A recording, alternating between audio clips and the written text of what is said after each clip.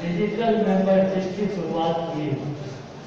आप पहले से भी जानते हैं, जो इसकी आवश्यकता क्यों पड़ी कोरोना जैसे महामारी की स्थिति में ये संभव नहीं है कि हमारे नेता सोनिया गांधी जी हो राहुल गांधी जी हो शक्ति सिंह गोहिल जी हो या अन्य जो हमारे सम्मानित नेतागण हैं वो अपनी बातों को गाँव गाँव तक पहुँचाने और उनके समस्याओं को बैठ कर कहीं समझने का प्रयास करें मैं समझता हूँ डिजिटल मेंबरशिप जो है वो जनता से गाँव गाँव तक संपर्क स्थापित करने का एक ज़रिया है इसलिए हमारे केंद्रीय नेतृत्व ने यह तय किया है कि हम लोग डिजिटल मेंबरशिप के माध्यम से जनता की समस्या को सुनेंगे भी और अपना समस्या या अपना जो संदेश होगा उन तक पहुँचाने का काम करेंगे। इसीलिए हम लोग ने ये तय किया है। हमारे गाँव गाँव तक पूरी ये बात ठीक है लोग बहुत आवाज़ में आजकल नहीं कर सकते हैं बहुत भीड़ भाड़ नहीं लगा सकते हैं लेकिन मेरा ये सब जगह है। हम लोग आज से तेज़ी कोई लक्ष्य रखा है तो पार्टी ने कितने नंबर बनाए जाएँगे? पहले जो है ये ज़्यादा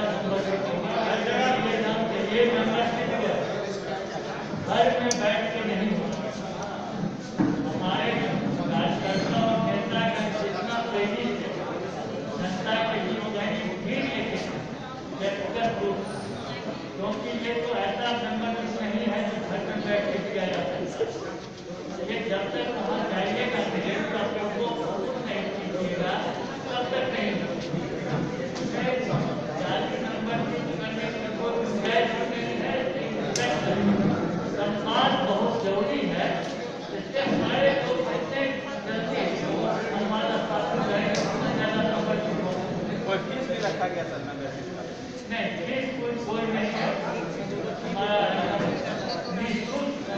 पहले था लेकिन उसको हमारे यहाँ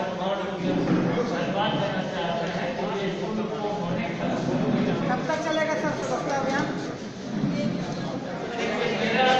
लगातार वैसे भी निरंतर चलते रहता है कभी बंद नहीं होता है ये बात सही है जब मैं ठीक रहता था उधर से बात तेज़ी से चलता था जब नहीं रहता था तो धीरे धीरे चलता था इसलिए इसका जो लक्ष्य निर्धारित है उसका समय निकलेगा तैयारी कर रही है कि कांग्रेस को भी ऑपरेशन किया जा रहा है। एमएलसी जो है लगातार संपर्क में है कांग्रेस के। राजनीति है है, सभी लोग अपने अपने हिसाब से प्रयास करते हैं। और ये सब राजनीति का पार्ट वो प्रयास कर रहे हैं। जब होगा कोई बात होगी तो आपको बता देंगे मानते हैं कि कांग्रेस के एमएलसी जेडी के संपर्क में है। संपर्क देखिए कुछ लोग संपर्क में रहते हैं। संपर्क का मतलब ये नहीं होता है जब पार्टी छोड़ना ये राजनीति में जिस तरह से आपस में बिटरनेस बढ़ रहा है ये राजनीति का पार्ट नहीं है। यहाँ तो हर एक लोग एक दूसरे से संपर्क में रहते हैं इसका मतलब ये थोड़े है जब पार्टी तोड़ के जा रहे हैं। चुनाव से पहले कांग्रेस अपने आप को बचा पाएगी पार्टी पूरी तरह एकताबद्ध है एक रूप में बंधी हुई है और बचाने का क्या सवाल है? इसमें किसी पार्टी किन्हीं का पार्टी सुरक्षित है क्या? आज जो स्थिति है कहीं जदयू के लोग जा रहे हैं कहीं आरजेडी के लोग जा रहे हैं कहीं बीजेपी के जा रहे हैं तो मैं समझता हूँ चुनावी माहौल में ये सब चलते रहता है।